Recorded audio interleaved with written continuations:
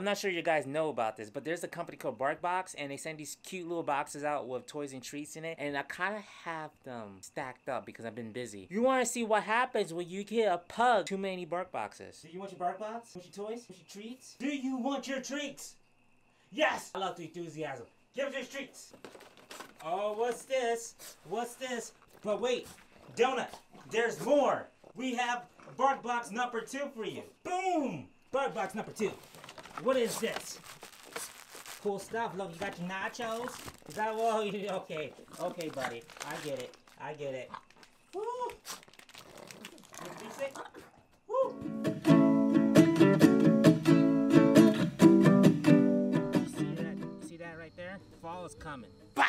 Fall's here and it's coming here and it's, it's my favorite season. And today's video is gonna actually tell you the things I like to do in fall. So let's knock number one out. Number one is I like to wear sweaters sweatshirts, hoodies, fleece. And look, look, look at this, guys. I got this new tech fleece. Like, don't I look fly?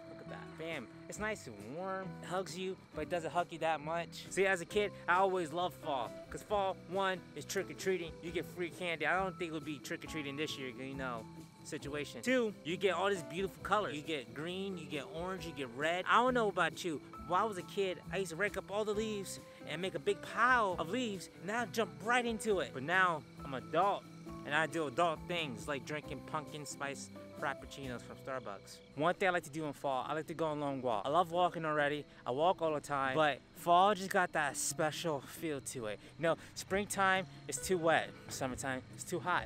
Fall, just right. Winter, too cold. Don't like it. We could kind of just do away with winter. You could just take that and just psh, toss it out. I don't like winter, but I do like looking at winter pictures. That's something I like to do. Another thing I like about fall is like the perfect time to have bonfires. Bonfires, blankets, and sweaters kind of go hand in hand. I also like the smell of a good bonfire. When I go buy candles, I think about, does this smell like a bonfire? I like that smell. I like that that smoky, woody smell. And then I like hearing the sound, the atmosphere outside, all the bugs chirping. I'm doing over the phone. Why? Because we do it live. Samantha, what do you like to do in the fall time? Um, make seasonal cookies. Seasonal cookies. What you, what you, Or eat baked goods, like pumpkin cookies, pumpkin pie, that stuff. Woo. Oh yeah, that, that's that's a good one right there. Woo. So that is one of my favorite things. Actually, one of my favorite things is to cook seasonal baked goods. I love a good baked good. There's these pumpkin cookies with, I want to say caramel bites inside of them. No, they're butterscotch. And I've never been a big fan of pumpkin until I have these cookies. And Samantha makes them every year.